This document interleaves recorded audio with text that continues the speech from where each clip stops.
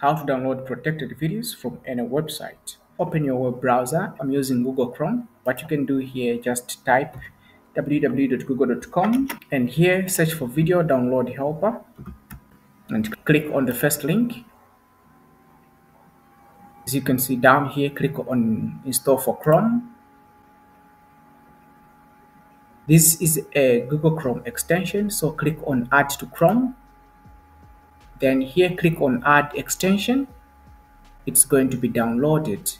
Congratulations you've just installed video download helper. Now for you to be able to see it you can click on this extensions icon and also pin it there so it's easier for you to access it. So you can close this now. When you pin it you can easily see it here. And so what we want to do here is click on it then click on these settings icon.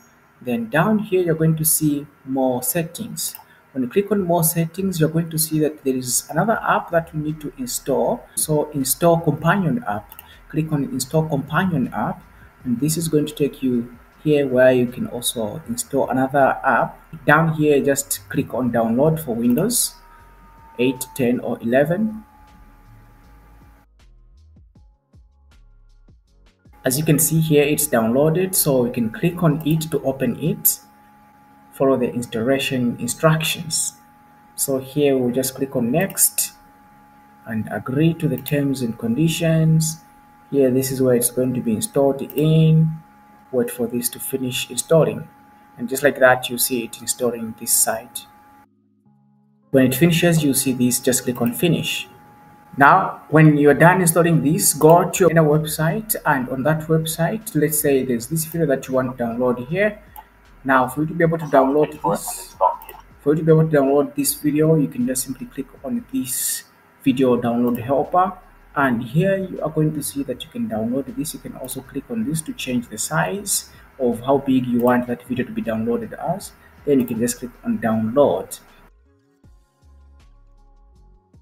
And so as you can see this video now is downloaded. You can play it. As you can see here this is a video that we've managed to download and so you can play it. You can also see the location of where it is. This folder and you can move it now to the desktop. For instance here we can move it to the desktop. And just paste it so it comes here on the desktop. You can open this video to play it. As you can see this video has been downloaded from twitter. And if you have any questions concerning this entire whole process leave them in the comments. I'll respond to you. See you in the next one